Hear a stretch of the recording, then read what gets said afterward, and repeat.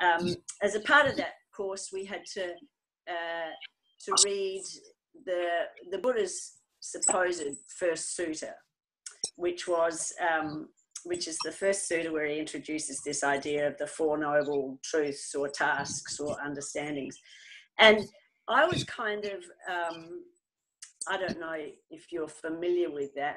I'll read the bit out perhaps in a minute. But I was interested in the fact that before the Buddha did speak about the Four Noble Truths or the Four Tasks, or I like to think of them as Four Understandings, um, before he talked about that, he, he kind of introduced his discovery as being the middle way. And that kind of struck me. That's often glossed over. And the more I looked into it, the more I thought, you know, I think the Buddha's trying to get us to look at his so-called four truths through a different paradigm, through a different way of looking. And that's why he started by introducing the idea of the middle way. So for me, it was really asking us to go through a paradigm shift or asking the people who he was speaking to to go through a big paradigm shift and he was speaking to ascetics. He was speaking to five kind of sages who are really into, um, uh, you know, going through those ascetic practices of not eating much, um, not wearing much, you know, really taking life to the extremes. So uh, to me, it was important that he introduced the idea of a middle way, and and um, and it has really affected my practice. So I guess that's why I'm talking to you about it. Now, um, when it depends on what translation you read, of course, of this, but um, I was interested in uh, Stephen Batchelor's translation of um, the word the Buddha used that's often translated as extremes. Um, Stephen translated as a dead end. It's an extreme. It's somewhere where you can go no further. Uh, you can't learn anymore is no longer um, interesting or a point of learning or understanding. So um, I'll just read you um, uh, Stephen's translation, but it's very similar to other people's translations. And uh, you'll probably see what I mean, why I was quite interested in it. Um, and this is the way it goes. And I don't know if you're familiar with suttas, but you know, it's a different language to what we're used to. There are monks, two dead ends which should not be pursued by one who has gone forth. Which two? Addiction to pleasure through indulging in sensuality, which is low, village like, pertaining to the unawake person, undignified and unfulfilling. And the addiction to self punishment, which is painful, undignified, and unfulfilling. The middle way, monks, awakened to by the Tathagata, does not lead to these two dead ends, but makes for vision and knowledge and is conducive to calming, lucid understanding, awakening, and nirvana. And what, monks, is this middle way? It's just this noble eightfold path. That is, right vision, right thought, right speech, right action, right livelihood, right effort, right mindfulness, and right concentration. So, um, you know, I think the Buddha is, um, like I say, asking us to go through a paradigm shift before we think about his um, the tasks that are pivotal to his approach. And in a sense, he's saying his teachings are the middle way, which is really ethics, the Eightfold Path. So again, I think um, to me, what the Buddha is giving is not some kind of esoteric teaching, but is talking about ethics. Um, now, we can see that a whole sense of um, keeping away from extremes. He's saying one extreme is indulgence, and the other extreme is self punishment. So too much, not enough. And his his way is somehow finding, you know, bouncing maybe from each extreme or each dead end and finding a middle way. Now, that was very different to the way people thought at his time. He was talking to ascetics who were really big on extremes. And um, the Brahmanical way of thinking was really around um, transcendence, you know, working very, very hard to get to here. And of course, um, a large part of our culture is around um, big effort is big results. Okay, good, better, best. Our language is even oriented around this. Um, goal orientation, you know, you have a goal and you go for it. Um, and truths, you know, finding truths and things that are kind of rigid or, as I like the way Stephen puts it, they're kind of dead ends. Once you get there, there's nowhere else to go. So, um, again, I was interested in this because a lot of teachers that I've been with really push goals and maximum effort is maximum results. So um, I've explored this after reading this. I explored it about, especially what it means for my practice. Now, um, some of you might be interested, uh, might be familiar with um, that whole I don't know if it's a myth or not, but that whole story around the Buddha and the middle way, um, where he was sitting on um, the edge of a river and a, he was starving himself. He was living the life of the mendicant. He was starving himself. He was not moving. He was um, going through all the kind of privations of, of that kind of life. And a boat floated down the river with a teacher uh, teaching a student about how to play a lute. And he said, if you have the string too tight, the sound is, is, is terrible. And if you have the string too loose, the sound is terrible. So your job as a musician is to find the middle way between that dead end and that. And um, when the Buddha heard that, a kind of a light went on and he realized that this practicing of an extreme was a dead end. It was not useful for what he was aiming for. So, um, so I want you to hold that image, that sense of, of, of tuning um, a string and that, you know, our belief that, you know, lots of effort brings lots of results just doesn't work with, with a guitar string. Um, now, I'm just going to take a little bit of time to talk about language around this because um, I think the Buddha was very aware of language and how language often puts you in a dead end. It often stops you from exploring. And, you know, the nature of language is one word is dobbed on one concept, and it often prevents us from looking either side. So, um, that whole idea that you know thoughts and concepts make language it's also the other way around oops oops uh, and there's there's lots of exam- examples of this but um, i think the big example for me as a child was the goodies and the baddies. You know, whenever we played uh, Cowboys and Indians, there were goodies or baddies. There weren't ever anyone in between. and um, our language really tends to, to, to do that. You know, it, things are either right or wrong or good or bad.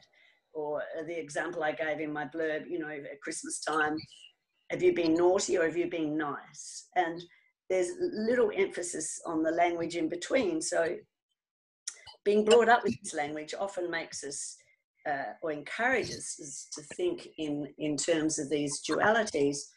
And um, often this kind of thwarts our practice, I think. Um, and I, there's a lot of examples where the Buddha challenged this.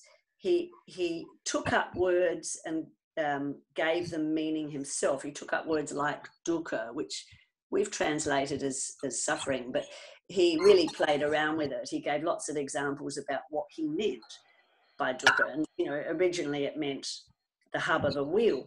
He took the word, I don't know, uh, sati, he took the, the word uh, sankharas and, gave them new meaning and was quite flexible with those meanings. Um, I mean, even the idea, even the word kind of nibbana or enlightenment, he, he didn't stick to one word, he used many. So I think he was trying to avoid that that kind of um, what I think of as a dead end of overuse of a word. Um, as a school teacher, I used to see this often. You know, often I, I used to teach six year olds. And I remember a little boy came once and told me that he was a naughty boy and, um, and then proceeded to be a naughty boy. It was like there was no option. So, you know, that use of that word had kept him within um, a certain framework. And um, you know, again, there are many exa- examples of this, but uh, I used to introduce the word ish to my kids. So instead of saying, oh, I'm slow at running, you could just say, well, I'm slow ish, you know, so that you can sort of allow for the fact that there's, it's a spectrum, not hard and fast. Again, you know, this sense of the middle way being between extremes. And so, you know, a kid would say, Oh, my friend is mean. I say mean-ish. You know, there are times when she's not mean, and there are times when, you know, she's really kind. But by using the word mean, it's kind of limiting. So, a little story to to introduce the idea of ish that you might uh, you might want to uh, use yourself when you're scolding yourself for not being patient or not being kind, you can uh, you can throw in ish, and it gives you a bit more of a spectrum. Hmm. Um, and you know this this can extend to your own practice. You know, I can remember uh, at, at Thich Nhat Hanh's community meeting a monk who was really kind of scolding himself for being not being mindful. He'd kind of um, limited himself by thinking this is mindful and this is not mindful, and and and just um, that flexibility that I think the Buddha's talking about in the middle way means that that we, we start to be aware that there's a whole spectrum, not just um, the good, the bad, the right and wrong, but you know sometimes you're more mindful than others, and and that's okay. Um, okay, so let's have a look at this middle way because I think it's asking us to take a big shift in the way we look at things and and sometimes it's it's hard to change. Um, you know i myself uh, you know have always thought of big effort means big results so this has had an impact on my practice too. But i think a lot of um, what the buddha introduced at that time was very very different to the philosophy of his time. So he was having to be very careful. And um, a part of this middle way was um, what we think of as conditionality, or what the Buddha called dependent arising. Okay, so dependent arising very much fits into this middle way idea in that everything, everything, meaning there's not a beginning or an end, has certain causes and certain conditions that maintain it, and when those causes uh, finish or cease, then uh, whatever it's bringing about ceases. So there's this whole sense of a kind of a coming and going or a fluidity of things depending on causes and conditions. Not that pyramid of here's the creator and this is what has been created, or that something exists on its own. Um, there's more of this sense of a kind of a, a fluid, unpredictable um, uh, flow of life as opposed to a lot of piles of existences. He, and this goes into the Buddha's idea of emptiness. Um, again, it's a word that sort of frightens a lot of people, but really it just clicks into that um, causality or dependent arising of things don't have an essence. Um, in themselves. So there's not such a thing as this. Again, we can see the whole middle way here. There's not such a thing as that. It's more of a flow between the two extremes. And, and that's all the Buddha meant by emptiness, is that nothing exists in and of itself with a pure essence. It's more of a, um, a flow of causes and conditions. And then of course, the middle way, which again feeds into this idea of, um, of things aren't a noun, they're a verb. They're a process, not a tangible thing. So you can see all these words that we think of when we think of Buddhism are actually kind of um, tapping into the similar thing, which I'm now thinking of as the middle way. So um, we, as we start to grasp this and kind of shift our paradigm, we can see that it really helps us live with a really um, unpredictable, ambiguous, non-dualistic life that um, that just isn't stable. You know, but but the more we can kind of click in with that and go with it, the less trouble we have. It's like we're in sync. Yeah. Um, okay, so the Buddha didn't just talk about the middle way in terms of um, of this uh, kind of having too much of something or too less of something. He, he spoke about it a lot in terms of existence. Uh, and there's a sutta where he speaks to uh, Katyayana, I think, and where he says, um, you know, again, middle way, things don't exist and they don't not exist. Um, and uh, I mean, I was going to read it to you, but you know, you, you probably get the idea. So even um, existence, and the, the, the Buddha had a, a way of putting this, which he, he, and again, in his time, the question about what exists and what doesn't exist was the question of the day. The fact that he challenged that made him pretty radical and made it, I think, very difficult for a lot of people who, who, who followed him to kind of grasp. So he said it's not useful to think like this, to think this exists. It's not useful to think it doesn't exist. And it's not useful to think that it both exists and doesn't exist. And it's not useful to think of that it neither exists nor not exists. So uh, he's trying to introduce the idea that kind of trying to fix something just isn't useful. Um, and again, we'll talk later about the implications on this for practice, because at the time people must have, well, did say to him, like, huh? so what are we supposed to do then? You know. Um, a person or a sage, I suppose, or a student that really took up this idea of the Buddhas was a man called Nagarjuna or Nagarjuna. I'm not sure if um, any of you have heard of him, but um, I really recommend reading about him because uh, he, he was around in about the second century AD or after Christianity. And he wrote a lot of um, poems, verses, etc., around the middle way. He really got it. And he got that you can't talk about it because it's it's really something that you have to get. It's like I said, a paradigm shift. So he wrote in verse, sensible. If you write in poetry, you don't risk being, you know, too meticulous with your words. And he was a great logician. And he wrote a lot of kind of poetry and verses, not talking about emptiness, but playing or, or the middle way or conditionality, but playing around with how it affects our life and um, there's a um, I've got it here. I suppose it's back to front to you guys.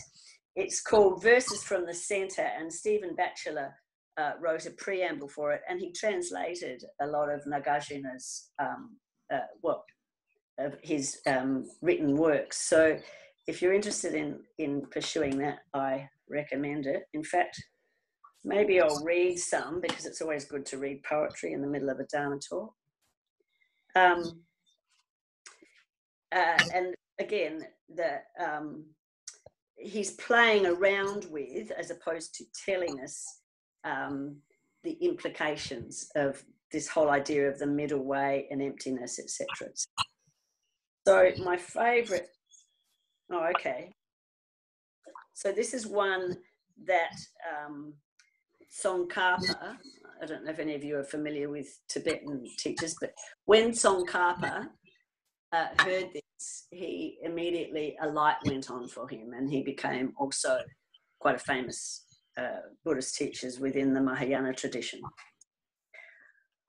Were mind and matter me, I would come and go like them. If I was something else, then they would say nothing about me. And then when Tsongkhapa heard that, he kind of got it. Didn't have the same effect on me. I had to read it about 10 times. um, and there's other ones here. Um, okay, so he played around with the idea of um, where things begin and where they end. Again, you can see that as a middle. This is where it is, this is where it isn't. And it's a whole spectrum that we're playing around with. Seeds turn into plants that bear fruit. Motives turn into mind, minds that bear fruit.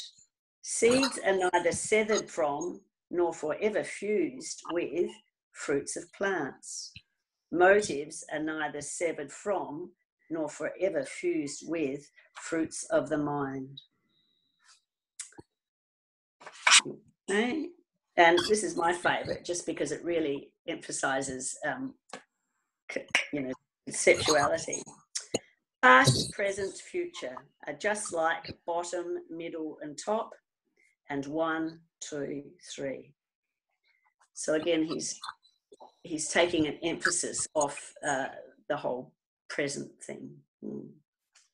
Anyway, I won't keep going, but I recommend Nagarjuna, especially with Stephen Batchelor's uh, translation. And Nagarjuna himself says that um, dependent arising is emptiness, which is the middle way. So um, again, it kind of gives that feel of the Buddha as not being into doctrine and not being into kind of rigidity. Okay, so let's go back to the Buddha's example where he says not to pursue extremes. That uh, with dead ends, there's nowhere to go, there's no learning, there's no understanding, there's no exploring your experience. You've, you've just reached an, an end. So he as I've said, has talked about it in terms of going without or having too much, the existence, non existence, the being very flexible, very flexible and very fluid, but also bearing in mind there are times when you need to be to be rigid and stand fast. So again, life is is moving between these two extremes. Being an optimist and a pessimist, something that is really useful and something that's not useful. Again, I see practice as really exploring um, these places. So it's very well, it's well and good saying our practice is to explore the kind of spectrum between these um, these extremes. So you know, I've started to think of practice as being like a little bit like calibrating or um, instead of kind of scolding yourself for not being mindful or not being in the present or not being whatever, practice is more of a kind of a knowing when you are and knowing when you aren't and exploring you know, more of a refining or a calibrating process. Um, and my image um, is of of a buffalo, of taking a buffalo to market. So I often say to people in my groups, you know, allow yourself to wander. You know, you're moving towards the towards the marketplace. You're um, the the uh, the boy who's driving you. Uh, if you if you move into the river and start getting lost in the river, then you get a little tap on the nose and you move back to the path, which is easier going. Then you might wander looking for grass onto the rocks, which is harder going, and the cow herd uh, gives you a little tap on the nose and you move back here. So the only way you really know where the path is is by that little bit of help from the cow herd, a little bit of experience of, oh, here's the river, here's the rocks, here's the cliff, here's the um, mud, and really, you know, working your way towards the marketplace on this kind of process between dead ends or between extremes. So, um, how do we do this? Like, what's our barometer? How do we know what's kind of right? and even thinking about what's right, I don't think is useful. But um, you know, I really think in the Buddhist practice, there's a whole sense of harm. So if you go somewhere and and when he was talking to his son, that's how he framed it too. That if you hurt yourself and hurt others, and that can be quite subtle, then you know you're going to the wrong place. Okay, so so we can we can start to use our moderating process around harm or hurt.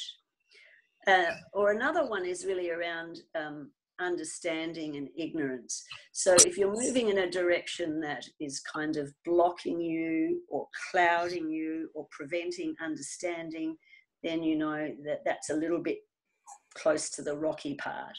And uh, and the other side. So I guess in, in the Buddha Dharma, where you, we're moving towards non-harm and we're moving towards um, uh, insight and understanding and wisdom.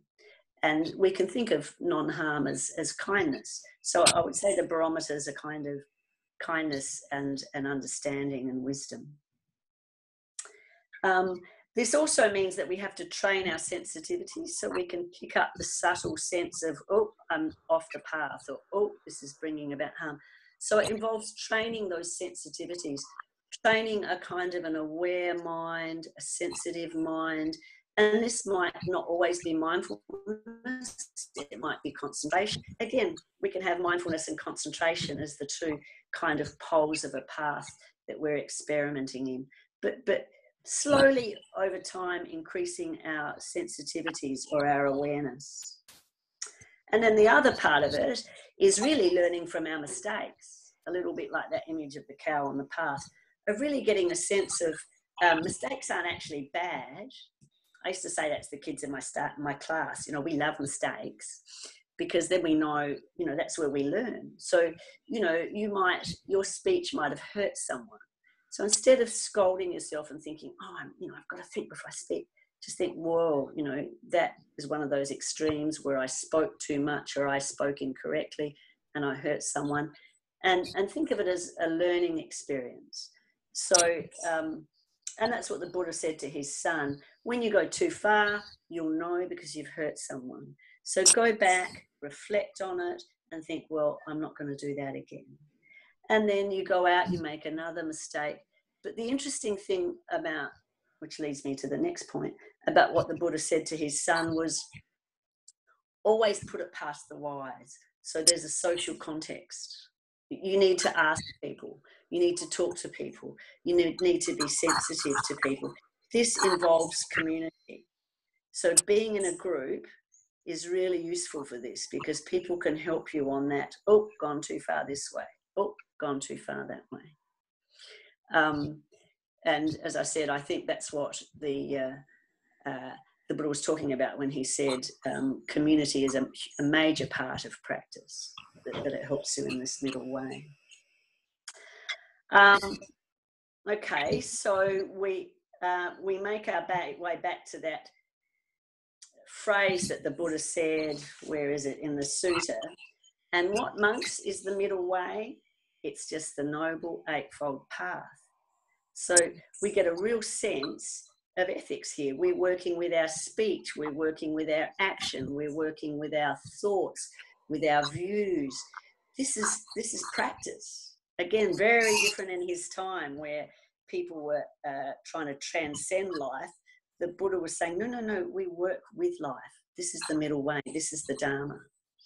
So um, I have a bit of trouble with it, uh, and I think a lot of people do.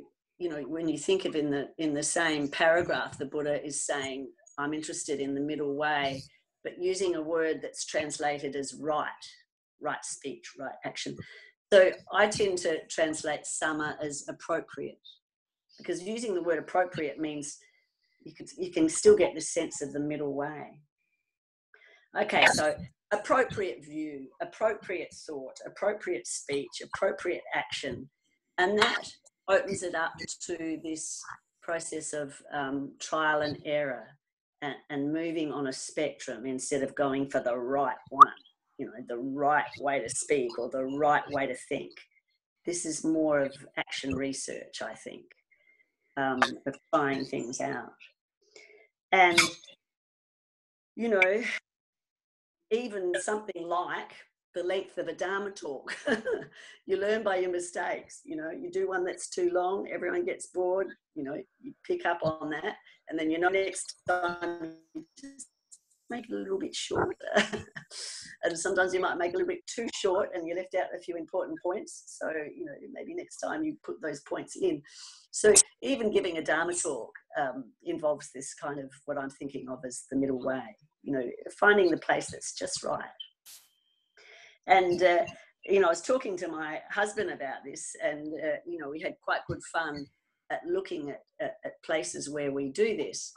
And in my surfing, uh, uh, because I'm a surfer, you know, I can see that sometimes, even with effort, in putting way too much effort into surfing, I don't surf well. But if I don't put any effort, if I sit there and get distracted, I also don't surf well. So there's this kind of combination between um, where I'm not trying too hard. I'm just trusting my body, just trusting muscle memory, but just concentrating enough to be aware of where the other surfers are, what the wave's doing. Again, there's a critical mass at which it's too much. Yeah. And my husband, uh, he gave his example as being almost being over ardent in holding the middle way. In um, you know, uh, uh, thinking I've got to do this the middle way, I've got to do this the middle way. So, and Nagarjuna uh, pointed that out, is that even um, becoming ardent about emptiness or ardent about dependent arising um, can cause difficulties. So, you know, Mark said that whenever he gets kind of got to do this way wise, even that needs to be kind of tempered, needs to be seen as, as overdoing. So I've very quickly, because I, I don't agree with long Dharma talks, I've learned from my mistakes, um, let you know how um, the middle way has meant for me in my practice. So I'd be interested to hear about you people if you have had a similar experience with um, your meditation practice or your Dharma practice or your life. Yeah.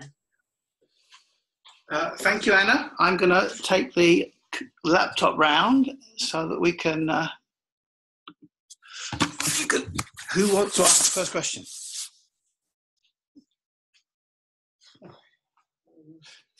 Phil, you were talking about politics on the way in this evening. oh no! An awful lot that comes to mind. Um, I'm just trying to relate it to what you've been saying, actually. But I do, I do find that um, I tend to have an inherent um, wish to seek a, a more balanced approach. And I think I have a natural um, thing which is seeking balance. And um, I am wary of anything that does tend to lead to, to extremes. And uh, as Ramsey suggested, um, in politics, for example, things uh, I do follow it, unfortunately, and it is going crazy uh, on both ends of the political spectrum. Uh, and when you get right wingers, extreme right wingers agreeing fundamentally with extreme left wingers, uh, this is extremely interesting to me. Uh, yes. But I'm also wondering how this can fit into to a kind of a model that you are sort of suggesting. Um, Yeah. This would fit in with, with uh, criminals in jail. I think meditation thing would be very good to cover some of this sort of uh, mode of thinking. I'll put you down here now.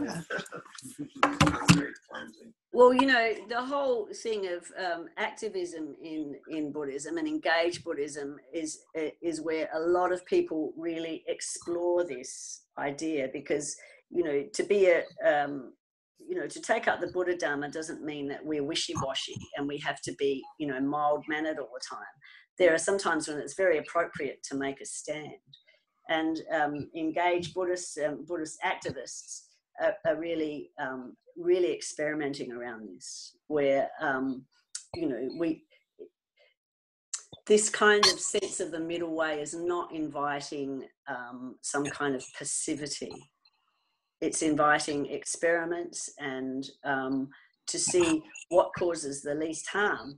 And, you know, uh, there's a lot of stories about things, you know, where the Buddha, you know, I don't know, there's a Tibetan one where he um, executed the captain of a ship in order to save the, the uh, hundred people who were um, in the boat, etc., etc. So there's a lot of examples around that, and I I think um, uh, taking a strong stand um, is not uh, um, is a very is a very uh, is a very important part of this experiment or this practice when it's appropriate. Mm. Um, I don't know if that's what you're talking about. It does cover some of what I was saying, but also thinking of Jesus as well. yeah, yeah, exactly. And um, you know, and I think this whole this whole using life or using our experience as a way of um, of as the platform for becoming liberated, if you like, or decreasing difficulties, is an interesting one. And I think it's an experiment. I think it's it's a um, exploration around those poles, which in, which includes politics. Mm. I mean, I'm going through the same at the moment with my you know reaction to gun laws, etc. And you know, we have to work out where you take a stand, where. Uh, Okay, so that's the pole between uh, flexibility and solidity. You know, that, that, yeah. Thank you. Any next next person? Anybody else have a question? Here we go. Hi, that was great. Hi. Thank you. Listening to you, I found myself thinking about uh, uh, matter of our physical bodies you know, one of the issues for any biological life form is it has to maintain a homeostasis. It has to avoid the dead end of, for example, uh, uh, getting too hot and die, or getting too cold and die, uh, uh, uh having too much oxygen and die, having too little oxygen, and so on. Yeah. And those things are, you know, part of our part of our bodies. But yes. started to talk about, you know, kind of experiments and metrics. And I started thinking about uh, the experiments we can run. Some of the experiments I've been running with um, uh, exercise and with uh, uh food intake and so on. Or we can take the example of extreme athletes.